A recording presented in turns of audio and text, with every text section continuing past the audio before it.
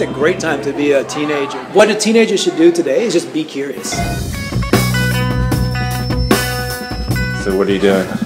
I'm at City Hall progressing the future of humanity by pitching an idea for a Columbia Youth Advisory Council. 10 members between the ages of 12 and 18 um, serving two-year terms. This is what I'm particularly passionate about is that we get an equal representation of all of the minorities. Is on board with this, so it's just a matter of creating the technical structure for moving forward. Hey, Emma, what are you doing? Well, right now we're at the What If conference at the Blue Note, and I'm making an idea board that kind of explains the ideas for What What are you doing?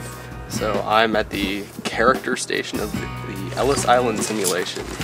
I'm going to be speaking in German. Oh my gosh, I forgot my passport. Go up and get it. Uh, speaking today in Chinese.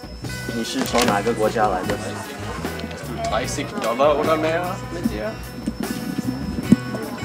Why the kids doing this? To understand how it would be like to be an immigrant coming to the United States.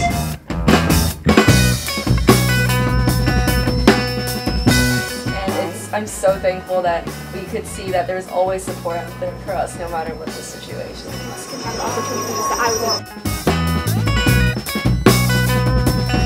Good for you. It's important work. Uh, well, I'm Eli Byerly-Duke, um, senior at Hickman High School.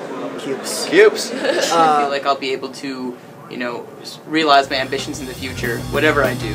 And I think my peers can, they, they can safely say that they can do the same things. The thing is, be passionate. Find something that you care deeply about. You'll be able to go forward and do something important.